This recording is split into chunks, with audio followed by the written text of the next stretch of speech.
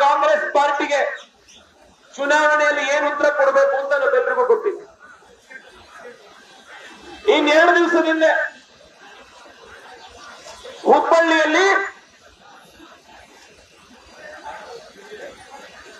ಒಬ್ಳು ಅಮಾಯಕ ಹೆಣ್ಮಕ್ಳು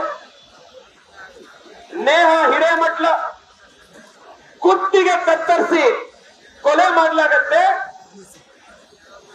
ಆ ಹೆಣ್ಮಗಳ ಸ್ವಂತ ತಂದೆ ಇದು ಯಾವ ಕಾರಣಕ್ಕಾಗಿ ಆಗಿರೋದು ಅಂತ ಹೇಳ್ತಾರೆ. ಅವ್ರು ಕಾಂಗ್ರೆಸ್ ಪಾರ್ಟಿಯ ಕಾರ್ಪೊರೇಟರ್. ಅವ್ರು ಹೇಳ್ತಾರೆ ಇದು ಯಾವ ಕಾರಣಕ್ಕಾಗಿದೆ ಅಂತ. ಆದ್ರೆ ಮುಖ್ಯಮಂತ್ರಿಗಳು ಮತ್ತೆ ಸರ್ಕಾರದ ಸಚಿವರು ಬಂದು ಆ ಹೆಣ್ಮಗಳನ್ನೇ ಅವಮಾನ ಮಾಡಿ, ಇದು ವೈಯಕ್ತಿಕ ಕಾರಣಕ್ಕಾಗಿದೆ ಅಂತ ಹೆಣ್ಮಕ್ಳ ಮೇಲೆ ಅವರ ಚಾರಿತ್ರ್ಯ ವಧೆ ಮಾಡುವಂತ ಕೆಲಸ ಈ ಕಾಂಗ್ರೆಸ್ ಸರ್ಕಾರ ಮಾಡ್ತಾ ಇದೆ.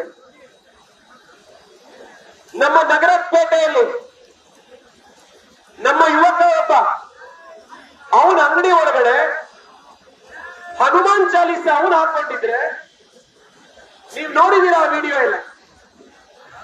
ಅವನನ್ನ ಎಳೆದು ಹೊರಗಡೆ ಎಳೆದು ಮನುಷ್ಯ ಇಚ್ಛೆ ಅವನಿಗೆ ಹೊಡಿತ. ಅವನು ಎಫ್ಐಆರ್ ಮಾಡೋದಕ್ಕೆ ಪೊಲೀಸ್ ಸ್ಟೇಷನ್ ಹೋದ್ರೆ ಎಫ್ಐಆರ್ ಕೂಡ ರಿಜಿಸ್ಟರ್ ಮಾಡೋದಿಲ್ಲ. ಅವತ್ತು ನಾನಲ್ಲಿ ನಗರಪೇಟೆಗೆ ಹೋಗಿ ನೀವ್ ಎಫ್ ಐ ಆರ್ ಮಾಡ್ಲಿಲ್ಲ ಅಂತಂದ್ರೆ ಇಡೀ ನಗರಪೇಟೆ ನಾವು ಬಂದ್ ಮಾಡ್ಬಿಡ್ತೀವಿ ಅನ್ನುವಂತ ಒಂದು ಹೆದರಿಕೆ ಕೊಟ್ಟ ಮೇಲೆ ಅವತ್ತು ಎಫ್ ಐ ಆರ್ ರಿಜಿಸ್ಟರ್ ಮಾಡಿದ್ವಿ ಇದು ಈ ಸರ್ಕಾರ. ಇವತ್ತು ನೀವು ಅಮಿತ್ ಶಾ ಅವ್ರು ಬಂದಾಗ ನಾವು ಅವರಿಗೆ ಎರಡು ಕಾರಣಕ್ಕೆ ನಾವು ಬೆಂಗಳೂರಿನವರೆಲ್ಲರೂ ಕೂಡ ಕೃತಜ್ಞತೆ ವ್ಯಕ್ತಪಡಿಸಬೇಕು ಸ್ನೇಹಿತರೆ ನಿಮಗೆ D J Halli, K J Halli ಗಲಾಟೆ ಆಯ್ತು ಗೊತ್ತಾ? ನೆನ್ಪಿದ್ಯಾ? ನೆನ್ಪಿದ್ಯಾ ಬರ್ತೋಗ್ಬಿಡ್ತು D J Halli, K J ಹಳ್ಳಿಲಿ ಪೊಲೀಸ್ ಸ್ಟೇಷನ್ಗೆ ಇವರು ಬೆಂಕಿ ಇಟ್ಟಿದ್ರು. ಗೊತ್ತಿದೆ ಅಲ್ವಾ? ಅಖಂಡ ಶ್ರೀನಿವಾಸ್ ಪೂರ್ತಿ ಕಾಂಗ್ರೆಸ್ ಪಾರ್ಟಿಗೆ ಸೇರಿದಂತ ದಲಿತ ಸಮುದಾಯದ ಎಂ ಎಲ್ ಎ ಮನೆ ಮೇಲೆ ಬೆಂಕಿ ಇಟ್ರು.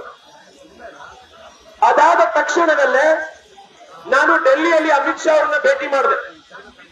ಅಮಿತ್ ಶಾ ಅವ್ರನ್ನ ಭೇಟಿ ಮಾಡಿ ಬೆಂಗಳೂರಿನಲ್ಲಿ ಈ ರೀತಿಯ ಟೆರರಿಸ್ಟ್ ಆಕ್ಟಿವಿಟಿಗಳು ಜಾಸ್ತಿ ಆಗ್ತಾ ಇದೆ.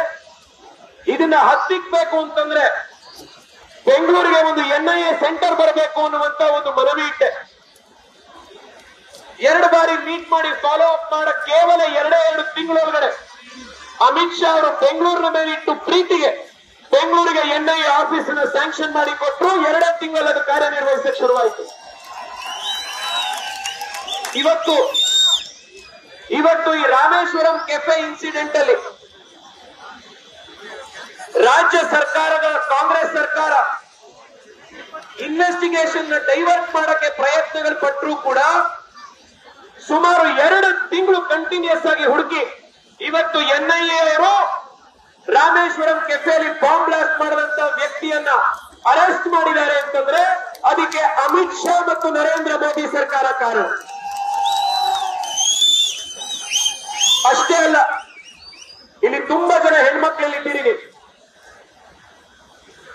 ನಿಮ್ಮೆಲ್ರಿಗೂ ಹತ್ತು ವರ್ಷದ ಹಿಂದೆ ಡೆಲ್ಲಿಯಲ್ಲಿ ನಿರ್ಭಯ ಕೇಸ್ಗೆ ನೆನಪಿರ್ಬೋದು. ಒಬ್ಳು ಅಮಾಯಕ ಹೆಣ್ಮಕ್ಳನ್ನ ಅಮಾನುಷವಾಗಿ ಡೆಲ್ಲಿಯಲ್ಲಿ ಒಂದಿಷ್ಟು ಜನ ರೇಪ್ ಮಾಡಿದ್ರು.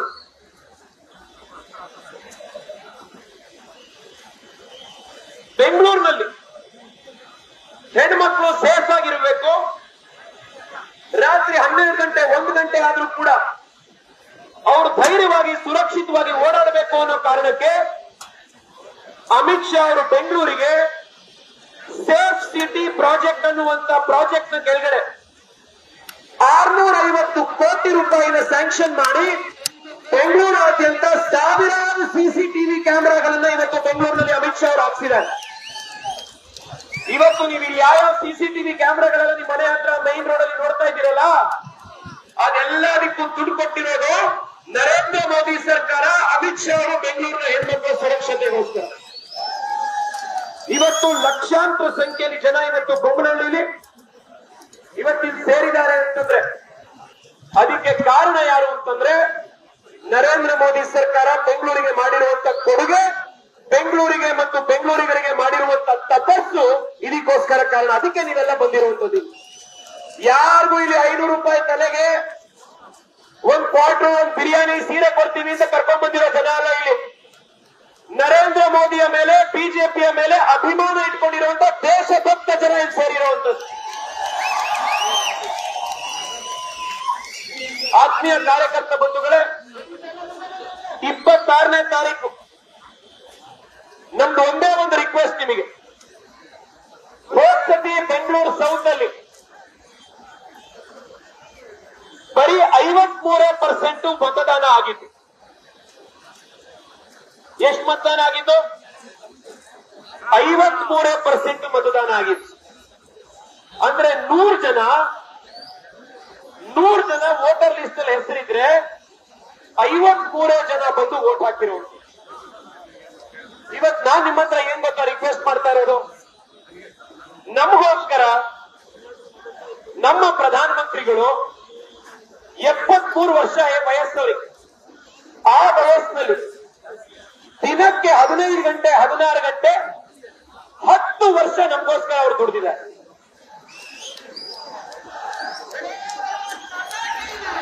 ಒಂದು ದಿನ ರಜಾ ತಗೊಳ್ಬಲ್ಲ ಒಂದು ದಿನ ರಜಾ ತಗೊಳ್ಬಲೆ ಒಂದು ದಿನ ರಾಹುಲ್ ಗಾಂಧಿ ತರ ವೆಕೇಶನ್ ಹೋಗ್ದಲೆ ವಿದೇಶಕ್ಕೆ. ನರೇಂದ್ರ ಮೋದಿ ಅವರು ನಮ್ಮೆಲ್ರಿಗೋಸ್ಕರ ದುಡ್ದಿದ್ದಾರೆ. ನಮಗೋಸ್ಕರ ದುಡ್ದಿದ್ದಾರೆ. ನಾವು ಅವರ ಎಲೆಕ್ಷನ್ ಬಂದಾಗ ಅವ್ರಿಗೋಸ್ಕರ ಐದು ನಿಮಿಷ ನಮ್ಮ ಮನೆ ಪಕ್ಕದಲ್ಲಿರುವಂತ ಬೂತ್ ಹೋಗಿ ಅವ್ರಿಗೋಸ್ಕರ ಓಟ್ ಹಾಕಕ್ಕಾಗಲ್ವಾ ನಮ್ಗೆ ಮಾಡ್ತೀರಾ ಓಟು ನರೇಂದ್ರ ಮೋದಿ ಅವರಿಗೆ ಈ ಬಾರಿ ನಾವು ಕರ್ನಾಟಕದಲ್ಲಿ, ನಮ್ಮ ಬೆಂಗಳೂರಿನಲ್ಲಿ ಎಪ್ಪತ್ತೈದು ಪರ್ಸೆಂಟ್ ನಾವು ಮಿನಿಮಮ್ ಮತದಾನ ಮಾಡ್ತೀವಿ ಅನ್ನುವಂತ ಪ್ರತಿಜ್ಞೆಯನ್ನು ತಗೋಬೋದಾ? ತಗೋಬೋದಾ? ಎಪ್ಪತ್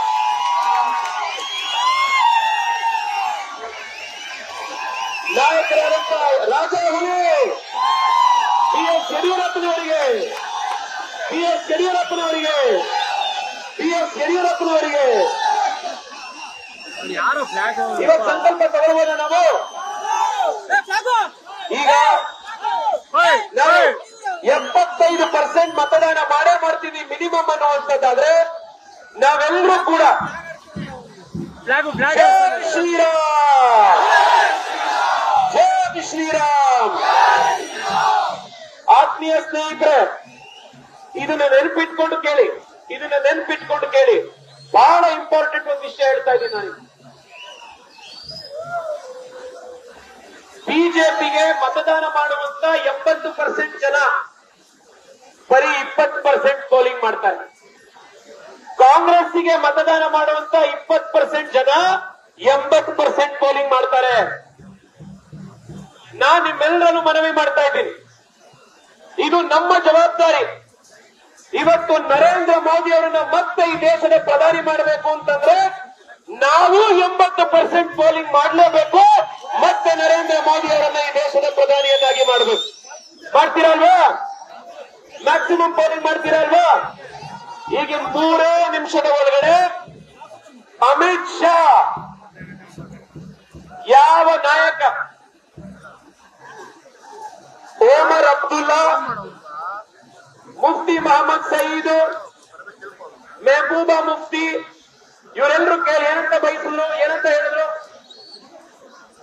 ನೀವೇನಾದ್ರೂ ಆರ್ಟಿಕಲ್ ತ್ರೀ ಸೆವೆಂಟಿ ತೆಗೆ ಪ್ರಯತ್ನ ಪಟ್ರೆ ಜಮ್ಮು ಕಾಶ್ಮೀರದಲ್ಲಿ ರಕ್ತದ ನದಿ ಹರಿದು ಬಿಡುತ್ತೆ ಅಂತ ಬಯಸಿದ್ರು ಭಯ ಹಿಂಸ ಪ್ರಯತ್ನ ಮಾಡಿದ್ರು.